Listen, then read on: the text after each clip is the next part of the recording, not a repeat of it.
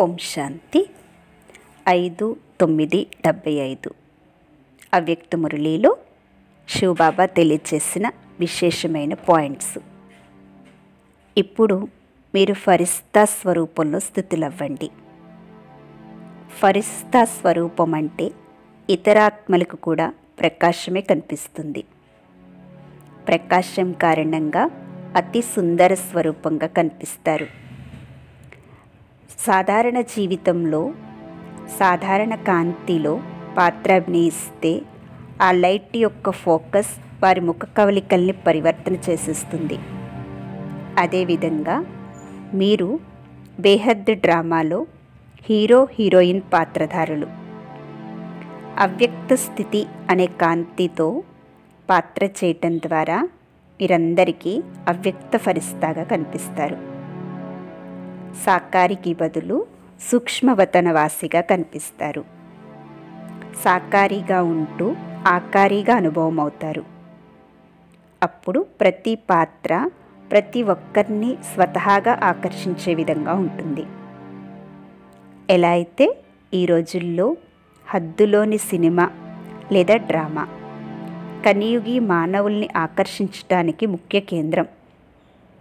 వదలాలనుకున్నా చూడకూడదనుకున్న హద్దులో పాత్రధారుల పాత్ర తన వైపుకు ఆకర్షించుతూ ఉంటుంది. దానికి ఆధారం లైటింగ్.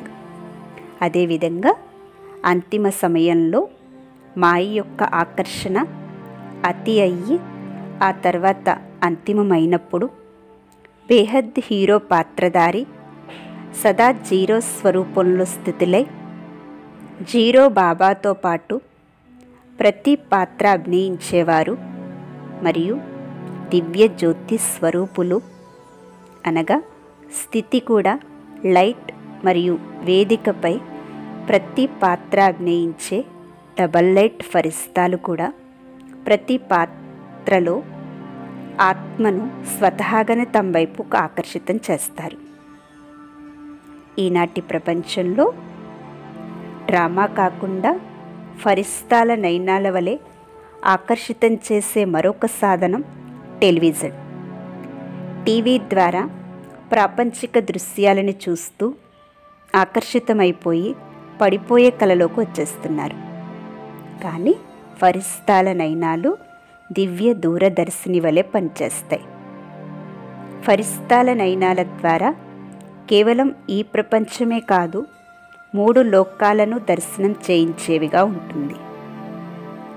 అలాగే ఫరిస్తాల యొక్క మస్తకం మెరుస్తున్న మణి ఆత్మల సెర్చ్ లైట్ల లైట్ హౌస్ సమానంగా స్వస్వరూపాన్ని స్వమార్గాన్ని శ్రేష్ట గమ్యాన్ని స్పష్టంగా సాక్షాత్కారం చేయిస్తాయి. ఫరిస్తాల యుక్తియుక్త మాట అమూల్య మాట ప్రతి బికారి ఆత్మను రత్నాలతో జోలెలు నింపేదిగా ఉంటుంది. దేవతలు కూడా భక్తులకు ప్రసన్నమై పూలవర్షం కురిపించారు అని మహిమ ఉంది.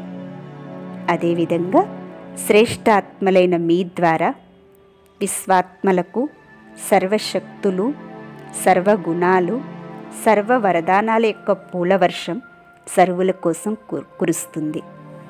అప్పుడే మిమ్మల్ని అందరూ దేవతగా ఇచ్చేవారిగా భావించి భక్తగణం ద్వాపరయుగం నుండి మీ మహిమ పూజ చేస్తూ వచ్చారు.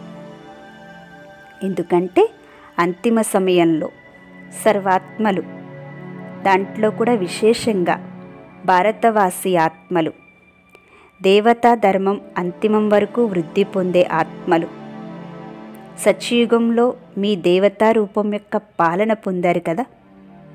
తర్వాత ఈ ధర్మం వృద్ధి అయ్యే సమయం మొదలుకుని అంతిమం వరకు మీ దేవతా రూపాన్ని దాతా రూపాన్ని వరదాత రూపాన్ని అనుభవం చేసుకుంటారు. అంతిమ దేవతా రూపం ద్వారా పొందిన అనేక ప్రాప్తుల యొక్క సంస్కారం స్మృతులు సర్వాత్మల్లో నిండిపోతాయి.